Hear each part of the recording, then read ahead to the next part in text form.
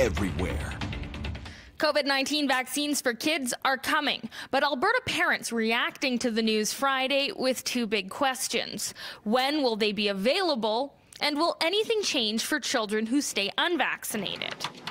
Some parents sharing their excitement, even saying they're ready to wait on online booking portals to get their 5 to 11 year olds access to the newly Health Canada approved Pfizer pediatric COVID vaccine.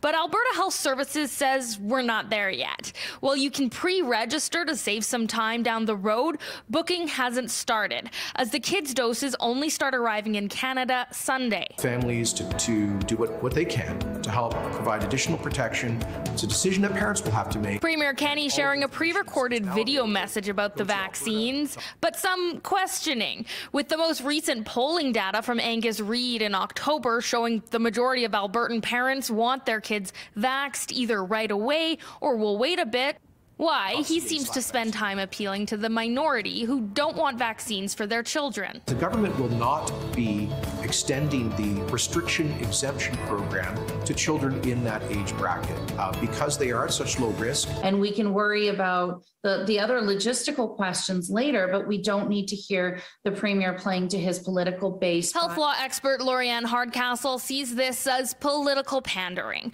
While no province has indicated intentions to require COVID vaccines for kids to go to school or visit restaurants, Alberta going out of its way to highlight this. Hardcastle feels these are conversations for another day. Bringing them up so early muddies the message. Is the, the issue of well, well, why not? Is there something wrong with these? Why why shouldn't I? I think the only messaging we, we should be hearing from the government at this juncture is that you are strongly encouraged to get vaccinated. Also noting while the province has no plan for vaccine passports for kids, private businesses would be within their legal rights to ask for their own mandate, but unlikely to happen anytime soon. AHS launching a new online page to address parents' questions about vaccines, but reminding the importance of taking any concerns you have to your child's doctor.